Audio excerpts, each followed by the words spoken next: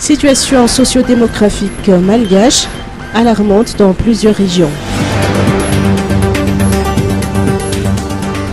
La situation sociodémographique des ménages reste précaire à Madagascar. C'est le premier constat des résultats de l'enquête par GRAP à indicateurs multiples aux multiples indicateurs Cluster Survey mix présenté officiellement ce jour à l'hôtel Colbert.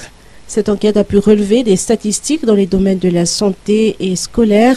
Dans le domaine de la santé, cette enquête a relevé une situation alarmante dans plusieurs régions de la Grande Île, à Diana, Bitsbook et notamment à Tsimonjefen, sur le taux de mortalité néonatale.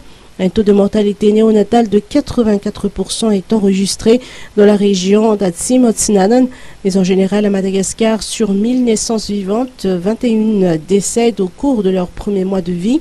40 décèdent avant leur premier anniversaire et 59 décèdent avant d'atteindre leur cinquième anniversaire. Ce taux est dû au non-accès à des services de santé et de soins, entre autres la CPN, consultation prénatale, accès autour euh, de l'accouchement, problème des infrastructures de base, a souligné Siamarus Ranji Manampsu, coordinateur du MIX. En matière de nutrition, un enfant de moins de 5 ans sur 2 souffre d'un retard de croissance qui se manifeste par une taille trop faible par rapport à son âge.